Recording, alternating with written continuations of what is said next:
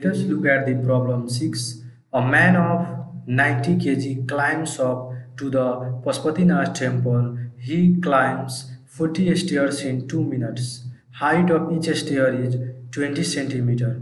What is the power of the man?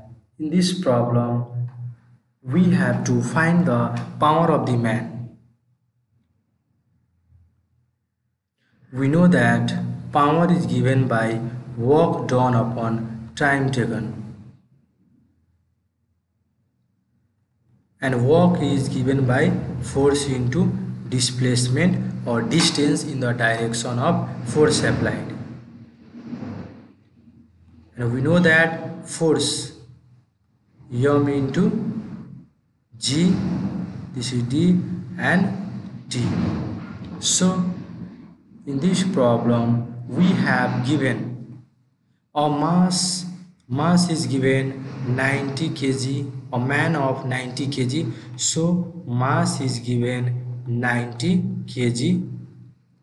Climb up to the Pashupatinath temple. He climbed 40 stair in 20 minute in sorry in 2 minute so time is 2 minute time is 2 minute and stair total stair is stair is 40 but height of each stair height of height of each stair is 20 centimeter. So so height total height so total height is 40 into 20 this much centimeter because each stair each stair is 20 centimeter and we have 40 stair 40 stair. One stair one stair means 20 centimeter.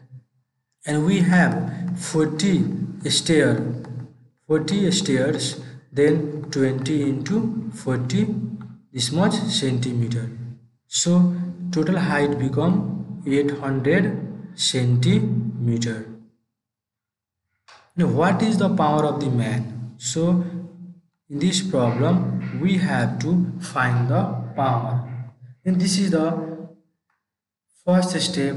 We have written this all given, but we have to convert in SI unit. Then the unit of time is second, but it is given in minute. So we have to convert in second. So it become 120 second. And height is also given in centimeter. So it become 8 meter. So we know that power is given by work done upon time taken. So work is given by f into d where work is f into d.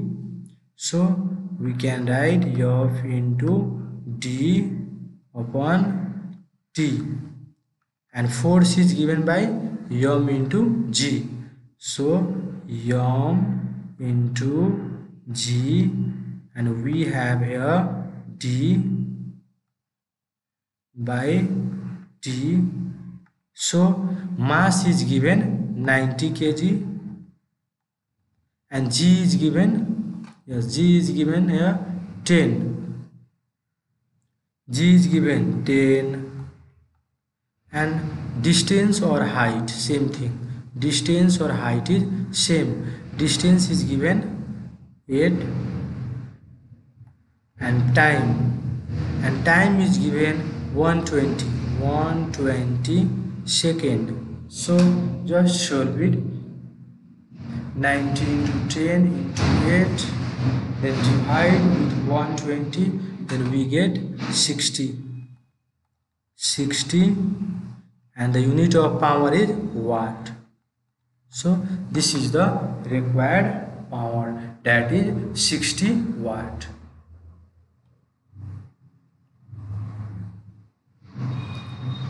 Let us move to the next problem problem number 7 in this problem a bullet of mass 5 gram.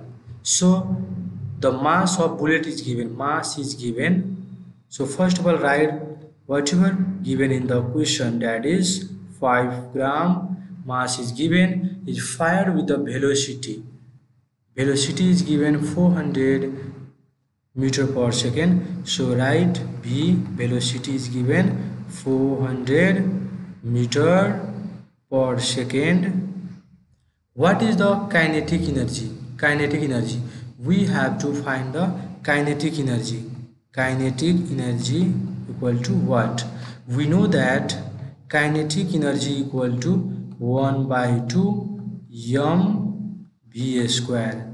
This is the formula of kinetic energy. But first of all we have to change this into SI unit the unit of mass is kg so we have to change here into kg. So it becomes 5 divided 1000 it becomes 0 point it becomes 0 0.005 kg. Then velocity is given meter per second it is right. So we know that kinetic energy equal to 1 by 2 mv square. So 1 by 2 mass is given 0 0.005 and velocity is given 400 into 400 v square means we have to multiply v twice. So just solve it multiply it and divide with 2 then we get 400 we get 400 and what is the unit of kinetic energy? Energy means joule. So this is the required kinetic energy that is 400 joule. Let us look at the next problem. Problems 8. A stone dropped from a 5 meter 5 meter tall cliff if all its potential potential energy get converted into kinetic energy this is the condition in this problem potential energy gets converted into kinetic energy so this is the condition. Potential energy get converted into kinetic energy. Calculate the speed of the calculate the speed of the stone just before it touches the bottom of the cliff and g is given 10 meter per square second. So in this problem we have to find the speed speed of the stone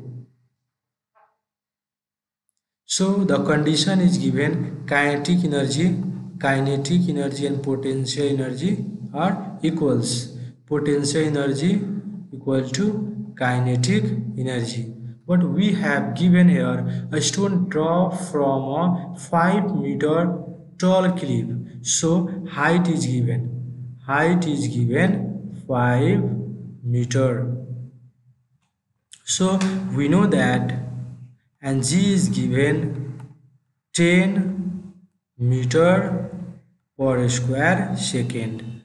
And we know that potential energy is given by mgh kinetic energy given by 1 by 2 mv square.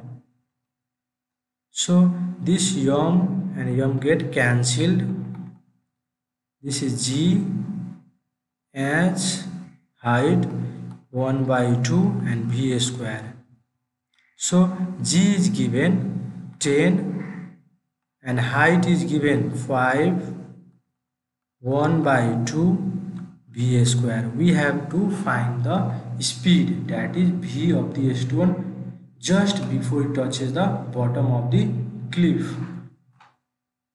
So it become 10 5 50 it is in division so it comes in multiplication equal to v square. So 50 into 2 means 100